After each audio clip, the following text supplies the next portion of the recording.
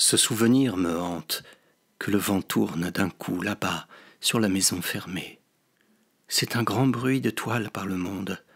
On dirait que l'étoffe de la couleur vient de se déchirer jusqu'au fond des choses. Le souvenir s'éloigne, mais il revient. C'est un homme et une femme masqués.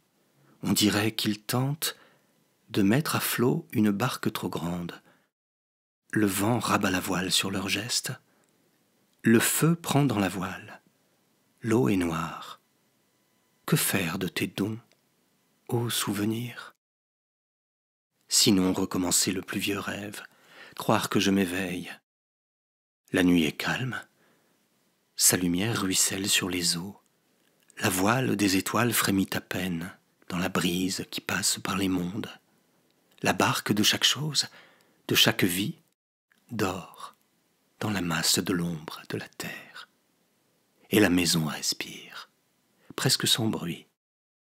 L'oiseau dont nous ne savions pas le nom dans la vallée, à peine a-t-il lancé, on dirait moqueuse, mais non, sans compassion, ce qui fait peur. Ces deux notes presque indistinctes trop près de nous. Je me lève, j'écoute ce silence, je vais à la fenêtre, une fois encore, qui domine la terre que j'ai aimée. Ô joie, comme un rameur au loin, qui bouge peu sur la nappe brillante, et plus loin encore, brûle sans bruit terrestre les flambeaux des montagnes, des fleuves, des vallées. Joie, et nous ne savions si c'était en nous, comme vaine rumeur et lueur de rêve, cette suite de salles et de tables chargées de fruits, de pierres et de fleurs, ou ce qu'un Dieu voulait pour une fête qu'il donnerait, puisque nous consentions tout un été dans sa maison d'enfance. Joie, et le temps qui vint au travers, comme un fleuve en crue de nuit, débouche dans le rêve, et en blesse la rive, et en disperse les images les plus sereines dans la boue. Je ne veux pas savoir la question qui monte de cette terre en paix. Je me détourne, je traverse les chambres de l'étage, où dort toute une part de ce que je fus. Je descends dans la nuit des arches d'en bas, vers le feu qui végète dans l'église. Je me penche sur lui, qui bouge d'un coup, comme un dormeur que l'on touche à l'épaule, et se redresse un peu, levant vers moi l'épiphanie de sa face de braise. Non, plutôt rendors-toi, feu éternel, tire sur toi la cape de tes cendres, réacquiesce à ton rêve, puisque tu bois, toi aussi, à la coupe de l'or rapide. L'heure n'est pas venue de porter la flamme dans le miroir qui nous parle dans l'ombre. J'ai à demeurer seul. J'ouvre la porte qui donne sur les amandiers dont rien ne bouge. Si paisible est la nuit qu'il est de lune. Et j'avance dans l'herbe froide. Ô terre, terre, présence si consentante, si donnée, est-il vrai que déjà nous ayons vécu l'heure où l'on voit s'éteindre, de branche en branche, les guirlandes du soir de fête Et on ne sait, seul à nouveau dans la nuit qui s'achève, si même on veut que reparaisse l'aube, tant le cœur reste pris à ces voix qui chantent, là-bas, encore, et se font indistinctes, en s'éloignant sur les chemins de sable. Je vais, le long de la maison vers le ravin je vois vaguement miroiter les choses du simple, comme un chemin qui s'ouvre sous l'étoile qui prépare le jour.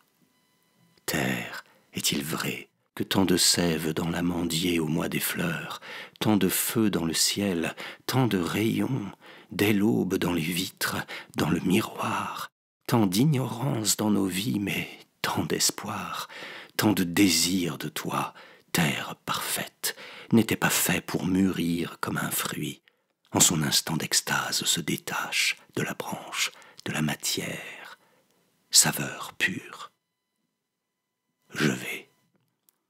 Et il me semble que quelqu'un marche près de moi, ombre, qui sourirait bien que silencieuse, comme une jeune fille, pieds nus dans l'herbe, accompagne un instant celui qui part.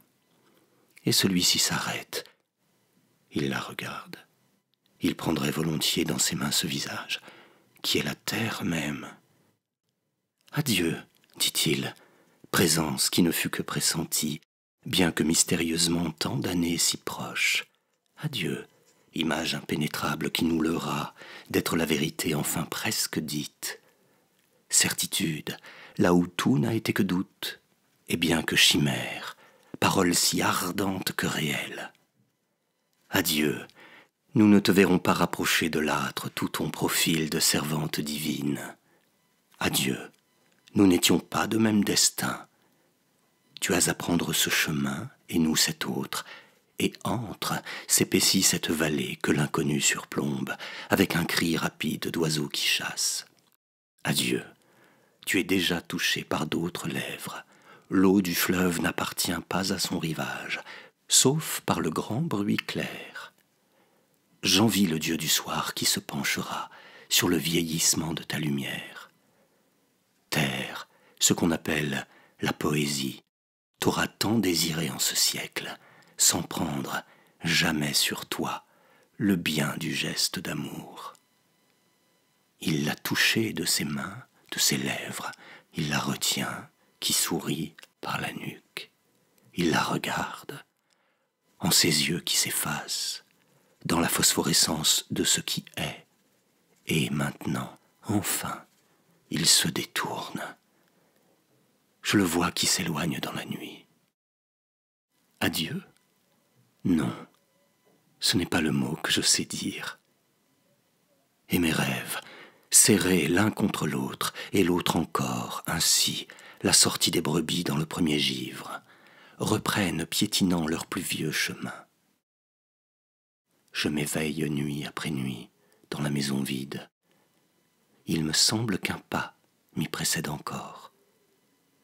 Je sors et m'étonne que l'ampoule soit allumée dans ce lieu déserté de tous, devant les tables.